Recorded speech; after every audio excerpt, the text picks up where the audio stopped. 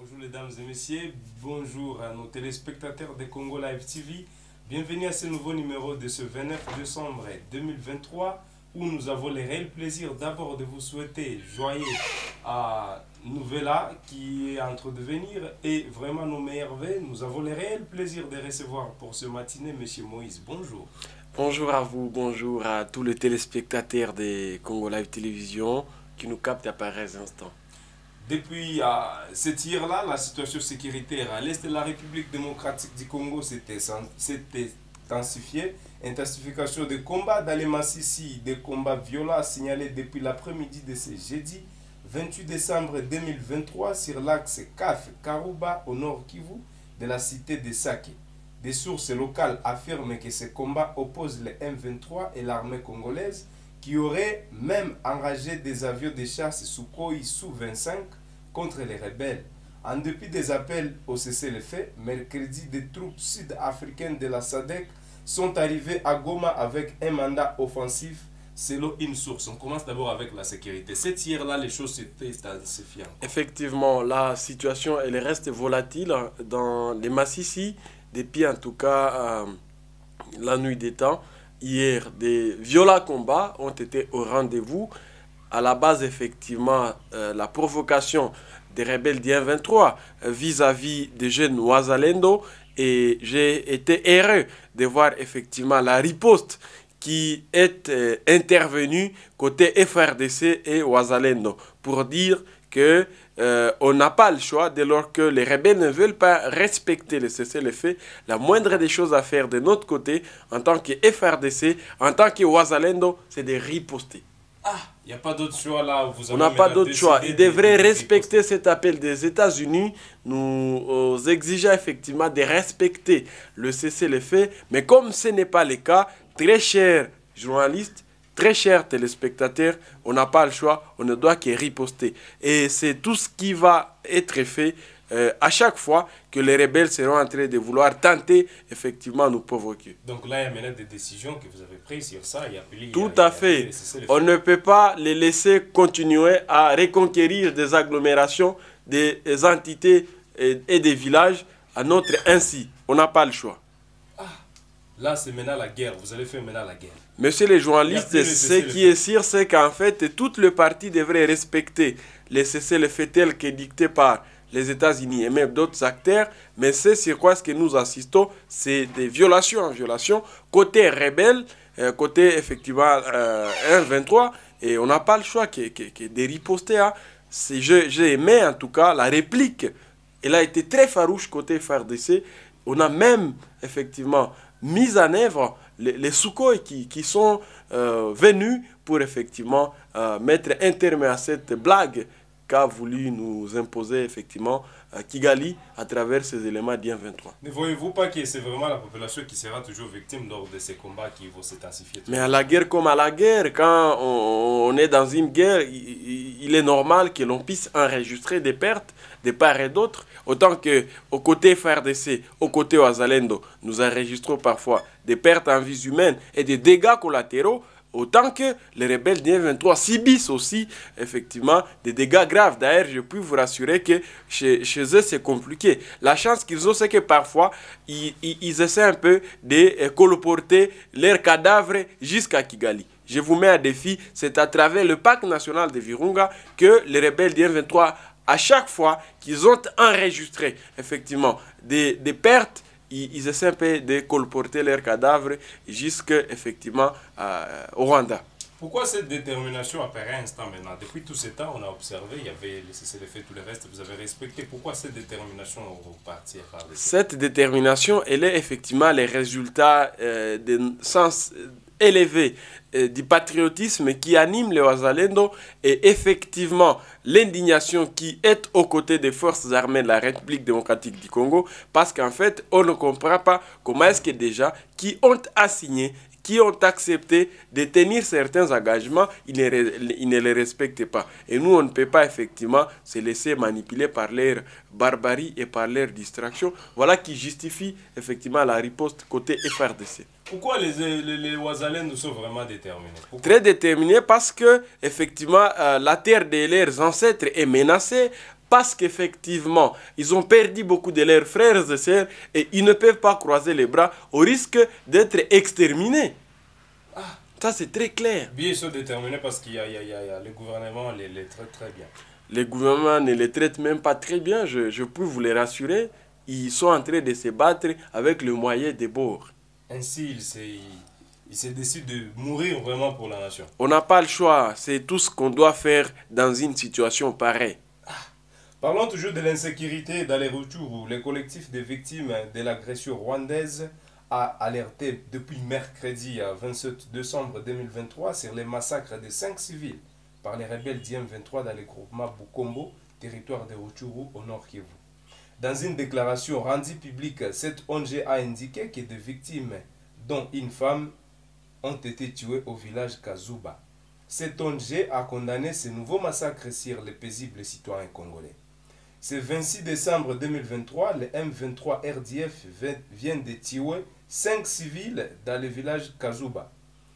Cette même ONG condamne encore cette violente délibérée euh, par le M23 RDF d'en finir avec la population civile autonome et fustigée.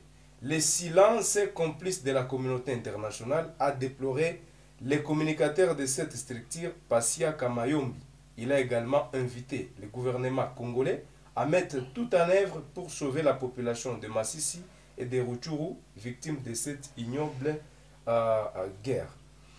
Même ONG a en outre encouragé la population de ce coin du pays à rester mobilisée derrière les valeurs patriotiques et solidaires envers les compatriotes victimes d'une agression injuste. C'est- un problème. Avec raison, en fait, je, je salue effectivement Les- les ONG ces messages, ces messages en tout cas assez, euh, assez profonds euh, de, du collectif des victimes de l'agression rwandaise. Ce sont des compatriotes avec lesquels d'ailleurs nous travaillons. Et ce qui est sûr, c'est qu'en fait, euh, la communauté internationale, elle est complice de notre malheur, de notre malheur, nous en tant que Congolais. Et la moindre des choses que nous ne puissions que faire, c'est d'effectivement, euh, et c'est un peu de l'alerter par rapport à ça. Mais on, se rend compte effectivement qu'elle a déjà une partie. Elle est, euh, on ne peut pas être juge et partie. Déjà, la communauté internationale qui devrait servir effectivement dépôt entre la RDC et Kigali pour trouver même un intérêt d'attente, ce que nous remarquons, c'est qu'elle a déjà une partie pris. Vous le savez, euh, vous êtes effectivement un journaliste de médication, vous voyez euh, effectivement l'attitude de l'Union européenne, de l'ONU et même d'autres grandes organisations qui sont issues de cette fameuse communauté internationale pour dire que le Congo est abandonné. Et ce que nous disons à tous nos compatriotes qui nous suivent de partout, à travers le Congo, à travers la diaspora et partout ailleurs, c'est que nous sommes dans une situation qui nous exige une auto-prise en charge parce que nous sommes abandonnés partout. De Comment, partout. comment, comment la communauté internationale est complice pendant que c'est la communauté internationale qui a appelé à, au cessez-le-feu? Mais c'est effectivement ce que j'ai dit. Ils nous ont appelés au cessez-le-feu. Nous, on respecte, mais de l'autre côté, les belligérants, ils, ne font que violer ce cessez-le-feu. Quelle a été la sanction? Quelle mesure a été prise par les États-Unis ou effectivement par l'ONU? Aucune mesure. Mais elle-même, cette fameuse communauté internationale, et là, noir sur blanc, euh, dit à travers plusieurs rapports de ces experts, je parle ici de l'ONU, comme quoi la RDC est victime d'une agression rwandaise. Et ce qui devrait ressortir effectivement de tous ces rapports, ce sont des sanctions exemplaires, des sanctions euh, sévères contre Kigali. Jusqu'aujourd'hui, je vous mets à défi, aucune mesure n'a déjà été prise par l'ONU à l'égard de Kigali. Mais Rien. En outre, les, les, RDFM 23 ont aussi accusé les, les FRDC d'avoir violé les cessez-le-feu. Mais hey, ils n'ont pas de preuves quand ils parlent de ça, mais nous, nous avions des éléments. Quand je vous dis, il y a des cadavres qui sont transportés, je vous mets à défi, il y a des, des, des, des- plusieurs cas qui euh, euh, ont été enregistrés. Et je vous rassure que c'est très vrai. Quand on vous parle des rapports de l'ONU, mais il faut consulter, il faut aussi nous documenter. C'est parmi effectivement euh, les, les comment je veux dire, les caractéristiques d'une bonne citoyenneté, cher ami, il faut nous informer. Ces rapports existent et c'est un peu de consulter effectivement les sites de l'ONU. Vous allez les voir, tout est clair. Au-delà de ça, nous avions des rapports volumineux comme le rapport mapping, qui essaie un peu effectivement d'illustrer tous les crimes qui ont été commis en République démocratique du Congo, mais jamais cette fameuse communauté internationale ne s'est intéressée à ça pour que des mesures aussi euh, sévères soient prises contre Kigali, pour dire qu'elle ne nous aide pas à grand-chose. Ainsi, vous décidez maintenant de faire la guerre nous décidons de nous prendre en charge en attendant que cette communauté internationale arrête avec cette distraction. Faute de quoi un jour nous nous apprendrons à elle. Et nous connaissons, euh, quand nous parlons d'elle, il faut commencer par qui et par où. Vous êtes sans ignorer qu'elle a déployé une mission robuste en République démocratique du Congo et cette mission s'appelle MONUSCO. Elle a eu tout le moyen possible. C'est la grande mission de l'ONU, mais déployée en RDC, mais avec elle, un petit groupe armé effectivement bien qu'appuyé par les impérialistes, continue à endeuiller la République démocratique du Congo et rien n'est fait. Messieurs les journalistes, la MONUSCO en elle-même devrait en finir une fois pour toutes avec euh, la rébellion du M23. Même on ne comprend pas qu'est-ce qui manque à la MONUSCO pour que nous puissions mettre un terme ou mettre hors d'état de nuit ces aventuriers, pour dire qu'il y a quelque chose qui se cache. Mais peut-être qu'il faut l'État pour en finir très bien. Mais l'État, depuis quand on, a commencé à massacrer les gens à Béni, depuis 2014, cette rébellion d'IM 23, maintenant là, c'est plusieurs mois qu'elle vient de dire ici au Nord Kivu, est-ce qu'on va continuer à laisser nos agglomérations, nos villages être euh, euh, occupés par ces aventuriers jusqu'à quand? Mais jusqu'à toute une éternité. Mais pendant ce temps, il y a des gens qui sont en train de mourir. Pendant ce temps, nos compatriotes de Massissi, ils ont été exclus des élections. Vous vous imaginez ce que ça donne? Pendant ce temps, effectivement, à Goma, on n'est plus ravitaillé. Effectivement, les darés alimentaires n'arrivent plus. Les pommes de terre, les amarantes et que sais-je. Parlons un peu, toujours, on, est, on parle euh, aspect sécuritaire. Le premier contingent euh, des troupes sud-africaines est arrivé à Goma dans le cadre de la force de la SADEC. Cette force vise à concrétiser la mission assignée par la SADEC, celle de restaurer la sécurité et de, de contrer les défis persistants posés par les groupes rebelles se trouvant sur le sol congolais. Alors, je, je l'ai aussi appris, c'est déjà... ils sont, assez parti, effectivement, la SADEC, les militaires de la SADEC qui sont déjà déployés sur place, nous les avions vus de notre propre yeux ici à Goma. Euh, on, a, on a essayé un peu d'échanger avec le gouverneur des provinces par rapport à ça. Le, mon général Chirimami Peter, que je salue en passant, qui a affirmé que cette mission, cette fois-ci, a euh, la SADEC a une mission offensive. Ça veut dire qu'elle vient ici pour faire la guerre et non pas pour faire le tourisme accordons les, bénéfices du doute, voyons voir ce qu'ils vont faire, mais on reste quand même très vigilant. S'ils ne vont rien faire comme l'EAC, comme la MONISCO, nous n'allons pas effectivement hésiter à mobiliser la population pour que nous puissions la chasser parce qu'on ne peut pas comprendre qu'il y ait déjà qui viennent ici pour faire le tourisme et, et, et, rentrer chez eux sans pour autant euh, nous aider. Ce qui est sûr, c'est que euh, c'est la République démocratique du Congo qui va assurer leur prise en charge et des retours, ils doivent aussi nous aider effectivement à, établir l'autorité de l'État et à imposer la paix. Ce qui est sûr, c'est que euh, je, ne suis pas de ceux-là qui pensent qu'il faut rester dans l'autarcie. Ça veut dire croire que nous seuls, on peut tout finir, mais quand même, on a besoin qu'on ait des partenaires qui sont sérieux, des partenaires qui sont sincères fiable. Si la SADEC sera sincère, tant mieux. Mais si elle va aussi, effectivement, se transformer en une autre EAC, je vous rassure ici, ils n'auront même pas deux mois. Mais la SADEC n'est pas l'EAC. La SADEC est venue pour des missions offensives. Je veux vous rappeler, je veux vous rappeler, je veux vous rappeler ici que même lorsque l'EAC était déployé, c'était presque le même discours qui était brandi. Mais sur terrain, on a remarqué que c'était tout autre chose qui a été effectivement vécu. Donc rien ne nous rassure que euh, ces discours-là suffisent. En fait, au-delà de trop parler, il faut faire.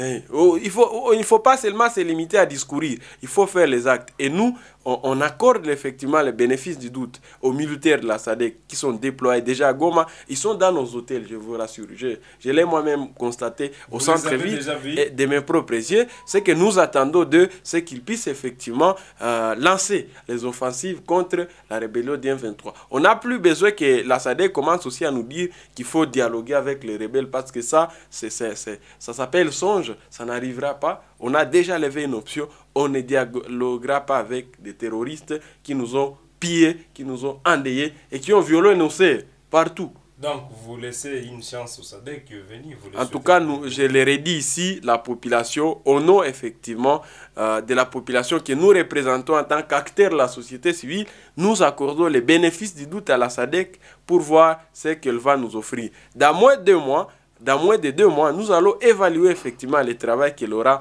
fait ici et si nous, euh, nous l'apprécierions de manière positive, tant mieux, elle va continuer. Mais si elle ne fait rien, je crois que même le gouvernement aussi, il a rappelé cela. Vous n'êtes pas venu ici chez nous en RDC pour blaguer. Vous êtes venu effectivement pour faire la guerre. Ce qui est sûr, c'est que euh, moi j'ai toujours dit que la sécurité euh, d'une nation incombe premièrement à ses fils, à ses dignes fils et filles. Mais ça n'exclut pas qu'on puisse euh, recevoir des aides d'ici et là parce que même la Russie, euh, même l'Ukraine, la guerre contre la Russie et l'Ukraine, on a vu quand même certains pays se mobiliser et ils ont apporté une certaine, euh, un certain appui effectivement à, à la Russie et même à l'Ukraine et ça leur a permis effectivement de très bien faire la guerre. Avant d'aller plus loin que ça, parlons, euh, avant de parler des, des rapports de, de la CENCO qui est venu ce tir-là, parlons d'abord de l'insécurité euh, venue de la SADC et tout le reste quelques jours avant, des tensions qui, qui, qui- sont vraiment trop élevées en, en RDC, quelques jours, quelques deux jours avant la publication des résultats. Ça, c'est un, un danger déjà. Bon, ce qui est sûr, c'est que euh, tous on s'attaque quand même à, à la proclamation euh, de manière très sereine. Mais ce qui est sûr, c'est qu'il y, aura des frustrations de part et d'autre. Et moi, ce que je me dis, c'est que euh, l'autorité de l'État devrait effectivement être euh, établie pendant cette période. Rappelez-vous que on va, la CENI va donner les résultats les 31. Et après les 31, c'est la fête des bonnes années. Ça veut dire qu'il y en a qui vont passer la fête dans de très mauvaises conditions, et dans des frustrations. Oh, Il y en a qui vont faire, pendant la fête, ils vont effectuer ce qu'on appelle le dé électoral. Et pour essayer un peu de contenir effectivement toutes ces frustrations, je pense que euh, les services euh, de sécurité, les services de l'État devraient aussi s'activer pour essayer un peu d'encadrer n'importe qui qui voudra effectivement euh, aller, euh, à l'encontre de la loi. Ce qui est aussi sûr, c'est que euh, on sait tous jusqu'à présent qui a été élu à la présidence de la République, qui a été majoritairement élu, bien qu'avec euh, effectivement tous les désordres qu'il y a eu et toutes les irrégularités. Mais je le dis ici avec toute honnêteté, le président Félix Tshisekedi a réussi la majorité des voix. Mais le processus, il a été extrêmement biaisé et je pense qu'au niveau des législatives nationales et provinciales même municipales, la CENI devrait revoir les choses. Avec tout ce qui s'est passé, tout ce que vous avez entendu au pays les jours des élections, est-ce que les opposants n'ont pas le droit de faire ça? Les opposants, ils sont dans leur droit parce que nous sommes dans un État dit de droit et qui dit État de droit sous-entend effectivement le respect des libertés publiques, le respect effectivement des libertés d'expression et de manifestation. A un opposant qui estime être lésé ou qui estime n'avoir pas reçu le voix qu'il méritait, il est dans son droit de manifester, mais en respectant effectivement scrupuleusement la loi. N'en déplaise effectivement à ceux qui essaient un peu de s'agiter par rapport effectivement aux résultats qui sont issus euh, effectivement des urnes. Mais ce que je pense aussi, c'est que les irrégularités, euh, tous les désordres qui ont été euh, au rendez-vous le 20 décembre ne doivent pas rester sans conséquence. La Cour constitutionnelle qui va statuer par rapport à tout ça devra tirer toutes les leçons et toutes les conséquences des droits en découlent. Et très pratiquement, par exemple, pour les députés qui ont été attrapés avec des machines à leur domicile, je crois que leur euh, scrutin devra être simplement et purement annulé. Pour les électeurs qui ont voté deux fois, certains devraient subir la rigueur de la loi. Il y a aussi un autre désordre qui a été remarqué, c'est qu'il y a déjà effectivement qui ont laissé à ce que des mineurs qui n'ont pas 18 ans puissent un de voter. Mais est-ce que tout ça va impacter négativement sur euh, les élections? Je crois évidemment que c'est vrai. Et si la Cour constitutionnelle, loin de là, estime que toutes ces irrégularités portent atteinte à la crédibilité ou à l'intégrité des élections, moi, en tant qu'analyste simple des questions politiques, je pense que la Cour est aussi dans ses droits d'annuler ces élections et de consacrer une transition de trois ou deux mois pour que nous puissions avoir de très bonnes élections. Et c'est à travers ce que j'ai appelé dans une de mes sorties médiatiques une euh, table ronde qui va réunir toutes les parties prenantes, tous les acteurs au processus électoral et à l'issue de cela, on pourra avoir une petite transition pour que nous puissions avoir de très bonnes élections. Mais la latitude ne revient pas à Moïse, ça revient à la Cour constitutionnelle qui est compétente pour statuer par rapport à ça. Ça, c'est ça, c'est si le cas, la Cour constitutionnelle voyait des irrégularités dans cette processus. Effectivement, j'ai dit si la Cour estime que ces irrégularités, tous ces désordres entravent de manière gravissime la crédibilité des élections, la Cour constitutionnelle qui va statuer par rapport à cette matière ne doit que procéder effectivement à l'annulation de ces scrutins. Ça va dépendre de son appréciation et de l'intime conviction du juge. Parlons de ces rapports de, de, de, la et de l'SCC qui, a été, qui a été mise ouvert cet hier-là. Qu'en dites-vous? Alors, la CINCO a donné un rapport provisoire hier et elle est revenue à Donatien Cholet et même euh, l'SCC. Ils sont revenus sur euh, tout ce que je suis en train de vous dire ici, euh, tout ce qui a caractérisé ces élections, les irrégularités et que sais-je, mais dans leur déclaration, ils reconnaissent sincèrement qu'il y a quand même un candidat qui a réussi la majorité de voix, il y a quand même un candidat qui a été majoritairement élu.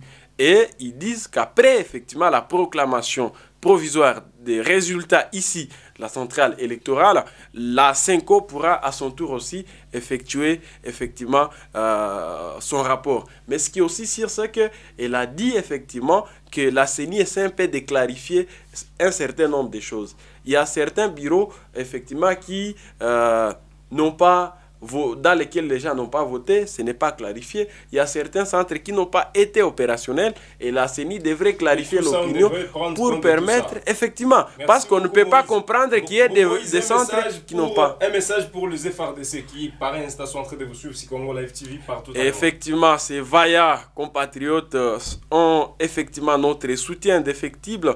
Nous ne cessons effectivement d'en appeler à tout le monde à pouvoir euh, les soutenir euh, pour le travail des titans qu'ils essaient un peu de faire pour le compte de la République, ce que nous demandons, c'est qu'effectivement, on essaie un peu de songer aussi à, à leur survie, à leur euh, effectivement mode de vie. Pour, pour, votre contact, pour finir cette émission, cette belle émission qui est suivie par tout le monde sur Congo Live TV, votre contact, s'il vous plaît. Nous restons effectivement sur le plus 243 99 25 42 946 99 25 42 946, c'est le numéro à retrouver sur WhatsApp. Merci beaucoup, mesdames et messieurs. Merci de nous avoir suivis sur Congo Live TV. De partout où vous nous suivez, nous vous souhaitons une nouvelle année et passez une excellente journée. Merci.